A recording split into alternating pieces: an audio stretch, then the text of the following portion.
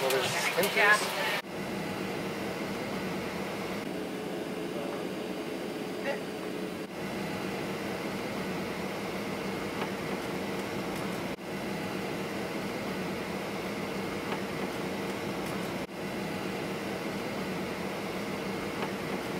So I made it home from San Francisco Zine Fest, as you saw.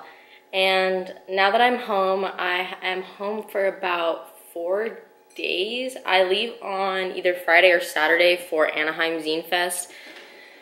And there's a few things that I sold out of at the Zine Fest, which is amazing, but of course it's gonna make me a bit more busier this week. So I made like a big list of things that like ideally I would get done, but the top priorities are my bread game zine, bread game sticker sheets, and a few of my greeting cards. Um, outside of that, everything else isn't like completely necessary, but I would like to have extras of stuff. So that's kind of gonna what I'm gonna work on today. I also am planning on making a um, a zine that's exclusive for Phoenix Zine Fest. So maybe only like 40 copies, something like that, super exclusive. So um, I want to get that planned out because I haven't really solidified an idea yet, and I'm a bit worried it's gonna like it's gonna come to next week, and I'm not gonna have an idea yet. So I'm gonna try and get that planned out today and start printing out some stuff to help me get ahead for Anaheim coming up. So yeah.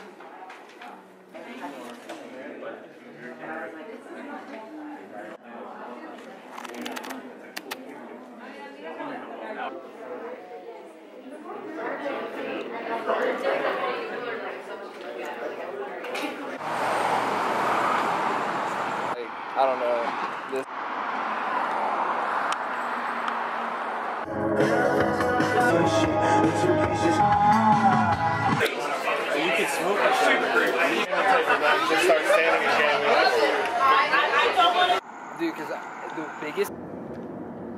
But yeah, sunset.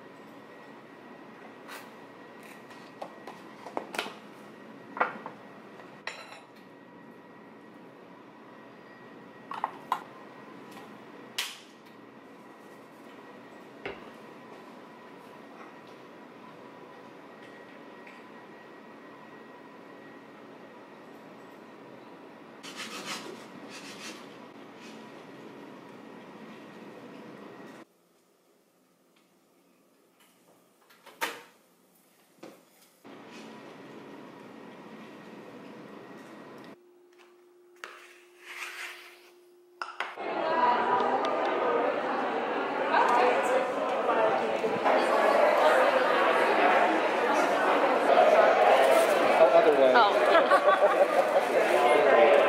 Look, I've never seen it go all red before. all right, you're all set. Thank you so much. Did you want a little back?